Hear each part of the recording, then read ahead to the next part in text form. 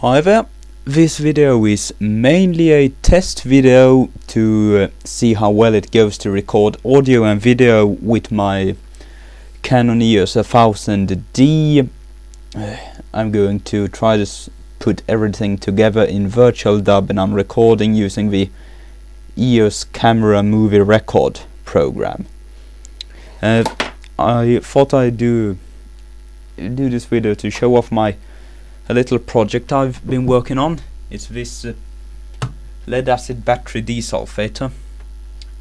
Uh, it's built uh, around the so-called ROF 10 kilohertz design and um, it appears to be working quite well.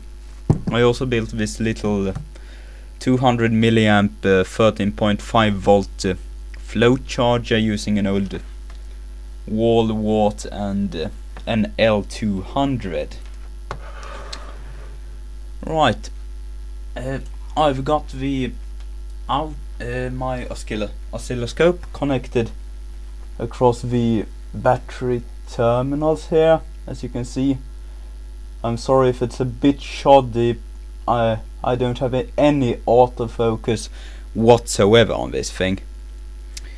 Yes, you see, the desulfator is connected onto the battery, the oscillo- oscilloscope onto the battery, and if we follow our cord, we'll find my scope up there. Uh, just a moment. Allow me to get the camera looking at the scope, and we'll take a look at what we have across the battery terminals. I should point out also that uh, this uh, uh, desulfator is built completely from junk box components. Uh, there's really no new components at all in it aside from the microprocessor I used. Uh, yes, this is a bit tricky. I did not think this through as well as I should have. Perhaps this is more suitable. Ah, yes. Ooh. A bit less light. A Bit more. Oh, scopes at maximum.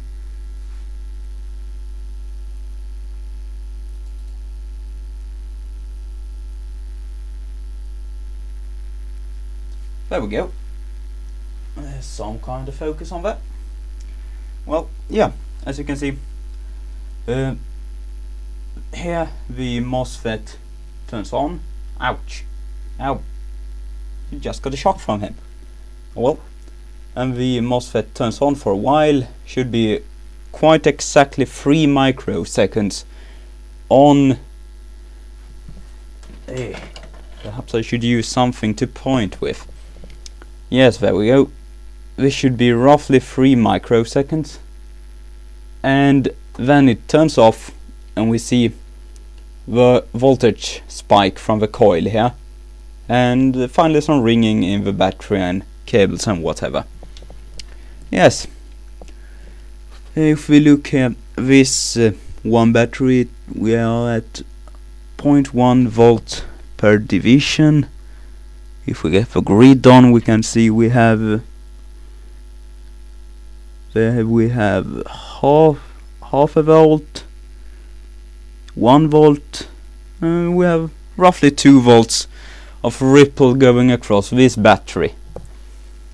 And I've measured the desulfator to be able to put out about five and a half amps of current peak. I'm sure it could be improved if I put some more time into it, which I'm going to, so uh, perhaps you can expect more videos on this subject in some time to come. Yeah, that that is my battery desulfator. Uh, here's the oh more more light, please. Oh come on.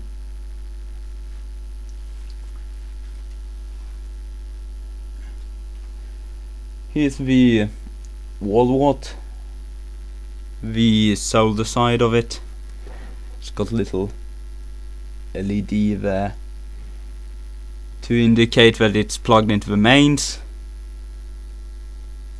I think it's from some old uh, set-top box.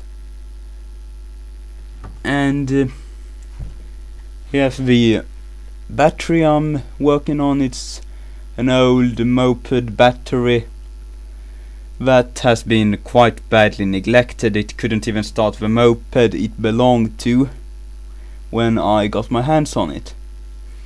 And um, here's the uh, desulfator itself. Uh, yeah, I should show you the startup sequence.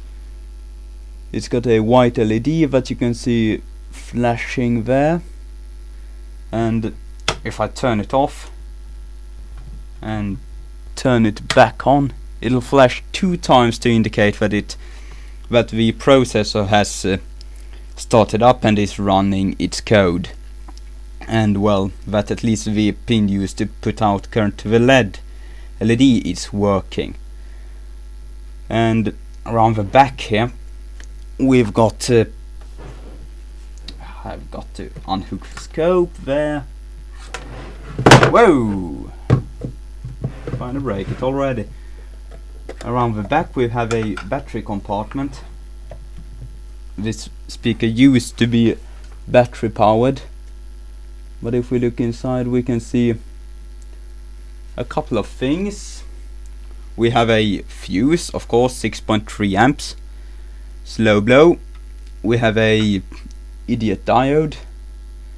Uh, it can handle about 60 amps, so I think it should suffice to blow the fuse if I hook it up the wrong way. And uh, I didn't think about connecting a float charger to this when I built it into the box, so I just uh, cut an old Molex plug from a computer power supply and soldered it onto the idiot diode to provide a float charger connection. And uh, it is built so that uh, the float charger is uh, connected uh, whether or not the uh, the desulfator is running or not. Because oh you see the red cable right there kind of hard to see. It's going to the straight to the battery. And uh, then it can oh oh dear my dog is moving I I'm sorry whoa she's kind of big. Yeah, anyway. The mm, uh, where oh yeah. The uh, battery comes in through this. It goes to the through a fuse, becomes a yellow wire. Then it goes to the idiot diode and the float charger. And from then on, there, there on, it uh, proceeds inside the box to the power switch on the front and from there onto the uh, actual desulfator. Yeah, that would be quite about it really, there isn't too much to say about it. Uh, it runs at 10 kilohertz and uh, that is, I've noticed with the configuration I'm using it, that seems to be a rather low uh, frequency. I think I could actually boost that frequency at least twice. I think uh, because we there's a lot of idle time. Uh, if when I look at the scope, so I think I should be able to boost the frequency quite a bit. So yeah, there's might be some input on that later on. Well, see ya.